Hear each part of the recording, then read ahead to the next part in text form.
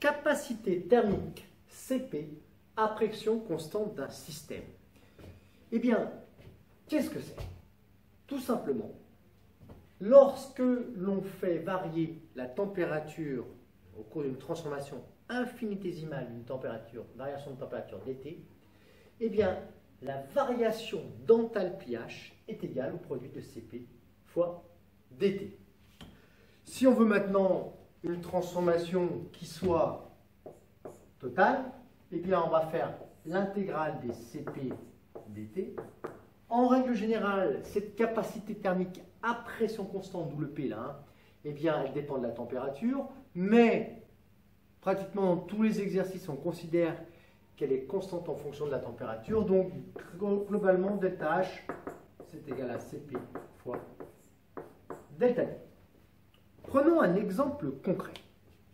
Imaginons un gaz parfait monoatomique. Il est enfermé dans un piston, la pression extérieure est égale à P1, pression du système, la température est T1, et elle a une enthalpie H1 en joule qui est déterminée. On apporte un petit peu de chaleur à ce système. À ce moment-là, qu'est-ce qui se passe? Eh bien, la température, elle varie jusqu'à la valeur T2. L'enthalpie H, qui ne dépend que de la température, on le verra plus tard, pour un gaz parfait monoatomique vaut maintenant H2, et on est toujours à la pression P1, puisqu'on est à pression constante.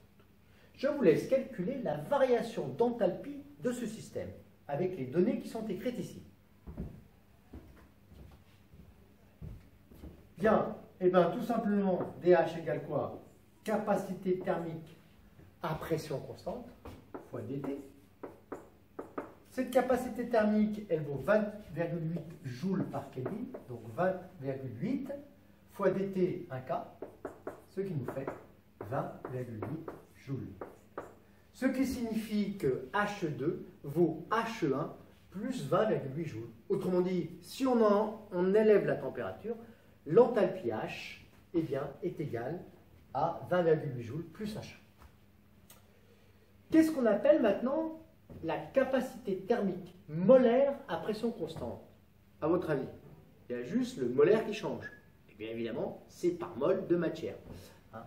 Donc, c'est égal à Cp divisé par le nombre de mol de, mol de matière du système. Quelle va être l'unité Eh bien, tout simplement, ici, des joules, Kelvin moins 1 fois mol moins 1. Que vaudrait à ce moment-là la variation d'enthalpie du système lorsqu'on le fait varier sa température d'une valeur dt Eh bien, tout simplement, ce sera égal à petit n fois CPM fois dt. Prenons un exemple. Eh bien, pour un gaz parfait monoatomique, un seul atome, eh bien, CPM égale 5 demi de R, c'est-à-dire 20,8 joules par Kelvin par mol. Ça signifie tout simplement que pour une mol de gaz parfait monoatomique, si j'élève la température de 1 Kelvin, mon, mon H va varier de 20,8 joules. Voir exemple précédent. Pour un gaz parfait diatomique, CPM est égal à 7,5 de R, 29,0 joules par Kelvin par mol. Effectivement, qu'est-ce qui se rajoute? Eh bien, ici, pour un gaz parfait, vous savez que l'énergie interne, elle ne dépend que de la température. Hein. Donc, qu'est-ce qui change ici? Eh bien, tout simplement, pour un gaz parfait diatomique, eh bien, l'énergie interne va augmenter, l'enthalpie H va augmenter un peu plus. Pourquoi? Parce qu'il y a aussi l'énergie de vibration des deux molécules l'une par rapport à l'autre, plus évidemment toujours l'énergie de translation. Ensuite, Qu'est-ce qu'on appelle la capacité thermique massique à pression constante?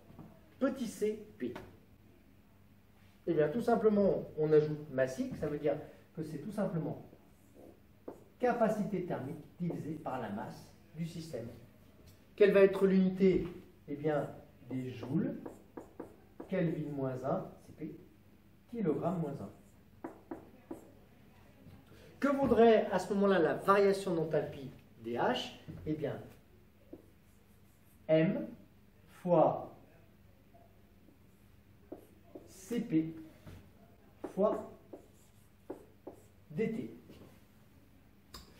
Voilà pour la capacité thermique Cp à pression constante, capacité thermique molaire à pression constante et capacité thermique massique à pression constante.